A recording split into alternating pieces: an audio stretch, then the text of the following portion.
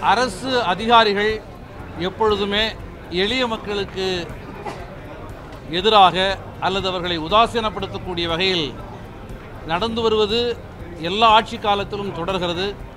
இந்த ஆட்சி காலத்தில் இத்தகைய இடைவெளிகள் இருக்கக்கூடாது. காலை சிற்றுண்டி திட்டம் மாணவர்களுக்கு வழங்கப்படுவது அனைத்து அரசு பள்ளிகளிலும் விரிவுபடுத்தப்பட்டிருக்கிறது. அது கல்வித்தளத்திலே மாபெரும் புரட்சியை உருவாக்கும்.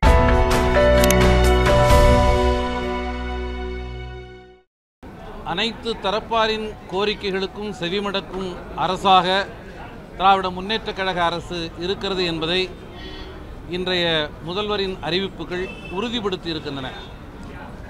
இஸ்லாமிய பெருமக்களின் நீண்ட நாளைய கோரிக்கையான பள்ளிவாசல்களை மராமத்து செய்வதற்கான நிதி உயர்த்தி தரப்பட வேண்டும் என்கிற கோரிக்கை ஏற்றுக்கொள்ளப்பட்டு ஐந்து கோடி என்று கடந்த ஆட்சி காலத்தில் இருந்தது ஆறு கோடியாக உயர்த்தப்பட்டு இப்பொழுது பத்து கோடியாக உயர்த்தப்பட்டிருக்கிறதை விடுதலை சிறுத்தைகள் இஞ்சார வரவேற்க கடமைப்பட்டிருக்கிறோம். அதைப் போலவே உலக முதலீட்டார் மாநாடு அறிவிக்கப்பட்டிருப்பது தமிழ் சூழலில் ஒரு மாபெரும் புரட்சியை உருவாக்கும் என்று நம்புகிறோம். விடுதலை சிறுத்தைகளின் நீண்ட நாளைய கோரிக்கையான நமக்கராமை திட்டத்தை பேரூராட்சிகளுக்கும் நகராட்சிகளுக்கும் விரிவுபடுத்த வேண்டும்.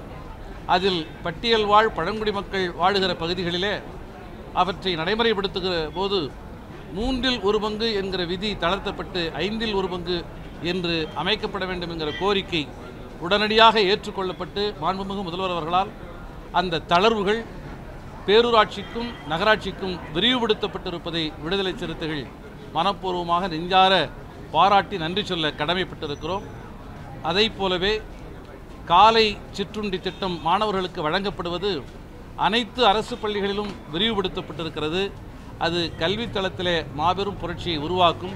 மாண்புமை முதல்வருக்கு விடுதலை சிறுத்தைகளின் சார்பில் இதற்காகவும் நெஞ்சார்ந்த நன்றியை சொல்லுகிற அதே வேளையிலே அரசு பணியாளர் தேர்வாணைய தொடர்பான இன்றைய சட்ட திருத்தத்தில் தமிழ் இளைஞர்கள் இந்த தமிழ்நாட்டிலே இருக்கிற தமிழக அரசின் பணிகளை பெற வேண்டும் என்கிற நோக்கம் நூறு விழுக்காடு உரு நிறைவேற்றப்படுகிற வகையில் அந்த சட்டம் முன்வரைவாரது இங்கு கொண்டு வரப்பட்டு நிறைவேற்றப்பட்டிருக்கிறது. மீண்டும் அதிலே தேவையான அம்சங்கள் இணைக்கப்படும் என்று நிதியமைச்சர் உத்தரவாதம் தந்திருப்பது மகிழ்ச்சியையும் ஆறுதலையும் தருகிறது. சார் இந்த புதுக்கோட்டை மாவட்டத்தில் வந்து மலம் கலந்த விவகாரத்தில் அங்கே இருக்கக்கூடிய தலித் இளைஞரை காவல்துறை கடுமையாக அவங்க வந்து மிரட்டி நீங்களே குற்றத்தை விட்டுக் கொடுங்க சொல்லி வற்புறுத்துதான் சொல்லிட்டு ரஞ்சித் ஒரு விட்டு போட்டிருக்காப்ல ட்விட்டர் பண்ணியிருக்காப்ல அரசு அதிகாரிகள் எப்பொழுதுமே எளிய மக்களுக்கு எதிராக அல்லது அவர்களை உதாசீனப்படுத்தக்கூடிய வகையில் நடந்து வருவது எல்லா ஆட்சி காலத்திலும் தொடர்கிறது. இந்த ஆட்சி காலத்தில் இத்தகைய இடைவெளிகள் இருக்கக்கூடாது.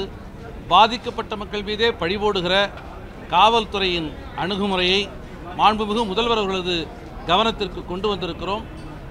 தேவையானால் ஏற்கனவே அமைக்கப்பட்ட குழுவை தாண்டி ஒரு சிறப்பு புலன் விசாரணை குழுவை அமைக்க வேண்டிய தேவை இருக்கிறது என்பதை மாண்பமை முதல்வருடைய கவனத்திற்கு கொண்டு வந்திருக்கிறோம். ஆவரணம் செய்வதாக அவர் உறுதியளித்திருக்கிறார்.